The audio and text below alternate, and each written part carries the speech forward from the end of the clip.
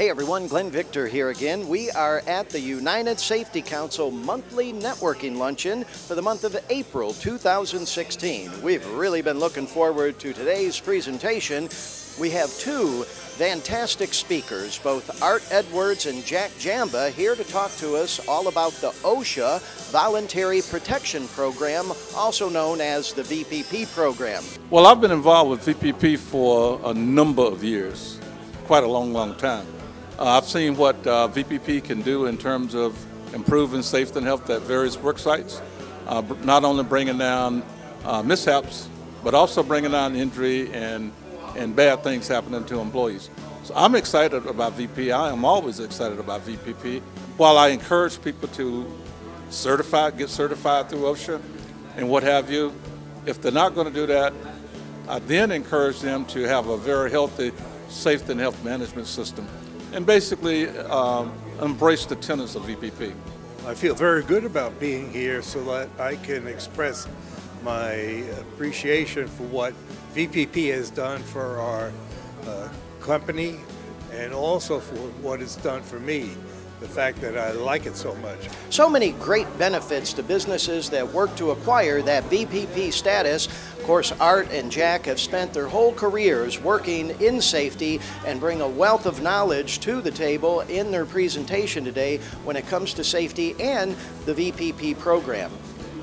Well, just open to really whatever's uh, you know relevant, what we could apply back at the uh, resort, uh, anything that's got to do with safety or security. Uh, although we come from different backgrounds, different industries, uh, there are things that could be relevant across many industries.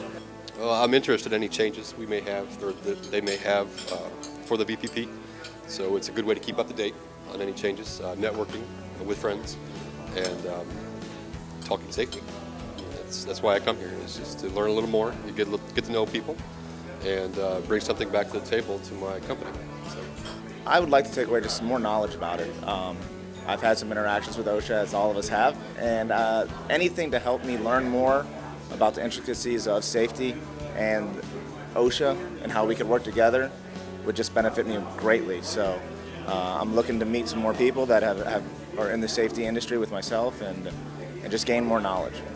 We're here at the beautiful Duffy's Restaurant located on Conroy, just east of I-4. We have a private meeting room that's perfect for our networking luncheons, and of course the food is always great here at Duffy's. Everyone having a great time. Lots of networking taking place and business cards being exchanged. A great presentation from Jack and Art on the VPP program. I come for the presentation, but I also come for the uh, interaction with the, you know, the networking opportunity and uh, try and make every single luncheon that you, you have. I'm very interested in the OSHA, anything that's OSHA related as well as, and you know, the networking as, uh, as well. You know, get a chance to meet some other folks in the, in the area here, and uh, maybe I can help them, they can help me. Actually, this, this is going to be my, my introduction. I have no idea. I'm very excited to hear about it. So the main reason I came today is, is to, to learn the process of, of opening up the VPP conversation for, for facilities. Our, our facility is not in VPP, right now. Uh, so we want to uh, see what, what steps are, are, needed to, to find out where the gaps are and figure out how we can uh, maybe implement that process on our site.